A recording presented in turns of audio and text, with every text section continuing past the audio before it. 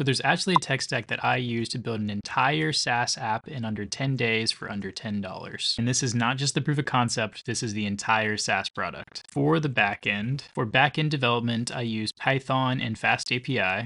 And for hosting, I Dockerize it and use GCP Cloud Run. Then for the front end development, I use Vue and Nuxt. And for hosting, I use Firebase. Now for data sources. For NoSQL database, I use Firestore. For SQL database, I use Neon Postgres. For blobs, I use GCP Cloud Storage. And to store secrets, I use GCP Secret Manager. Now for CI CD, for source control, I use GitHub. And for deployment pipelines, I use GitHub Actions. And for other services, for authentication, I use Firebase Authentication. For billing, I use Stripe. For email, I actually use Sender.net. And for monitoring, I just use GCP Cloud Logging. But for advanced monitoring, I am looking into PostHog. And to purchase and manage domains, I actually use Namecheap.